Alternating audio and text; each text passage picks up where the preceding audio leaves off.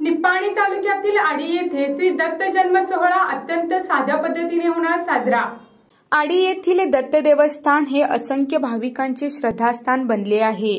कर्नाटक महाराष्ट्र व गोवा राज्यातून भरपूर भाविक येथे सातत्याने येत असतात.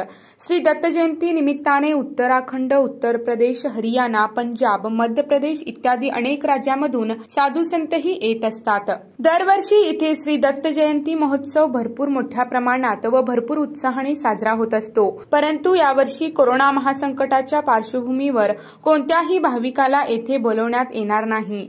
येथील आश्रमस्थांच्या उपस्थितीत श्री दत्त जन्म सोहळा अगदी साध्या पद्धतीने संपन्न होणार आहे. ज्यांना परमाब्धी व गुरुचरित्र ग्रंथाचे पारायण करायचे असेल त्यांनी ते पारायण आपापल्या घरीच करावे अशी विनंती आहे. कोरोना महामारी सुरू झाल्यापासून हे देवस्थान शासकीय नियमानुसार सुरक्षेच्या दृष्टिकोनातून बंद ठेवण्यात आले आहे. नऊ महिन्यापासून सर्व भाविकांनी या निर्णयाला मनापासून साथ दिली आहे.